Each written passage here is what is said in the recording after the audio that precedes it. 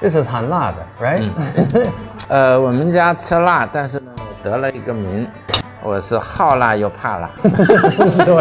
How did you even hear about Huawei, such a small company at that time? How did that sort of first meeting happen? 读研究生那阵还没有这个太多的人读研究生，毕业后就要给我分配到，呃，叫做武汉湖北省武汉华中电业管理局调度局通信科，然后的话呢，给我要看看两台 NEC Nix 六幺的交换机，然后还有一台马可尼的对传输设备。我一想，我这辈子就干这个事儿，我觉得没意思，我就跑了。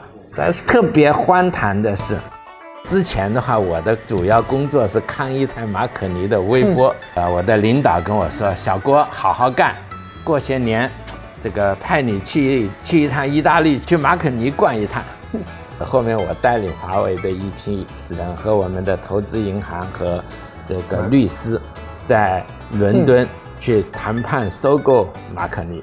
当然，最后我们没没收购成，那个爱立信收购了。但是我想想也很有意思，所以我觉得也是非常非常魔幻的感觉。Because early days, people don't know the story terribly well. Now, the, the crisis when the Hong Kong distributor canceled your contract, that was 1990? 我们当时是没有产品，所以的话呢，我们必须要有产品。坦率的说，那个时候我们对交换机的理解并不太深刻。那么的话，我们除了自己操作以外，我记得是当时，呃，南京邮电学院有个教授的一本书，我们按照那个叫程控交换机原理，按照这些书的一些东西，就是照葫芦画瓢，开始啊、用这个程序控制来写程序测试这个搭搭建试验电路。我们还专门跑到广州的实验室去测试雷击，那个应对雷击的这个试验。所以作为项目经理，什么都得都得管。这也是我第一次去出任一个主管。我觉得从这里学到的就是方法可能千条万条，第一条你得敢去干，愿意去干。You said you joined in 1989 1988 as the number five employee. Yeah，我们第一款交换机是五百一门的交换机，叫 HJD 四八，我们还不错，啊、也是度过了华为没有产品的那个危机。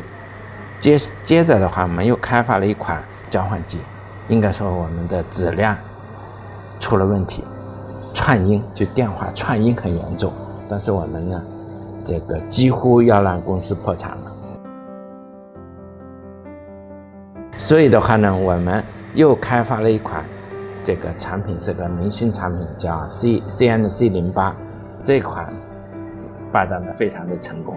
接下来我们开发了一个叫、叫 East 八千，是一那台机器又失败了。